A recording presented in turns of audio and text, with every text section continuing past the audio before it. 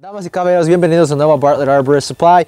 Ah, ahora vamos a hacer un video ah, hablando sobre el sistema abierto de trepa que se incluye un hitch climber pulley, una pulea hitch climber, dos mosquetones y un Prusik. Hay que notar que los, los mosquetones uh, sean de triple acción para abrir y para cerrarse, que se cierren automáticamente para tener un sistema de soporte de vida.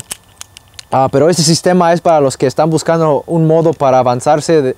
si no quieren comprar un zigzag o una Kimbo, o si no están listos para un sistema mecánico así, pero quieren avanzarse sobre el Blakes o el Tautline, esta es otra opción muy, muy versátil en el, en, el árbol del trepa.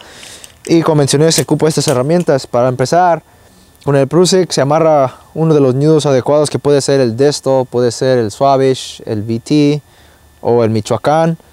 A mí personalmente me gusta amarrar el, el Lo amarras aquí sobre la, sobre la cuerda y quedó amarrado. Y ahora lo que vamos a hacer, aquí está nuestro empalme. Vamos a colocar uno de los mosquetones que tenemos aquí. Y aquí yo los que uso son el, de la marca DMM, el perfecto y el, regular. El perfecto es un poco, un poco más pequeño para reducir el, tamaño del sistema un poco, pero es el que siempre conecto al empalme.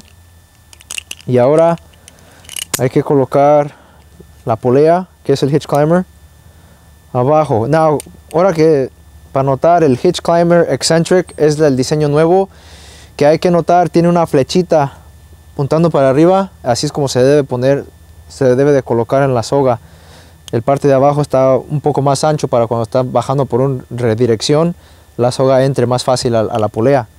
Pero como mencioné, flecha para arriba y hay que colocar los, los empalmes del, del Prusik a la conexión de abajo. Los dos ojos se conectarán.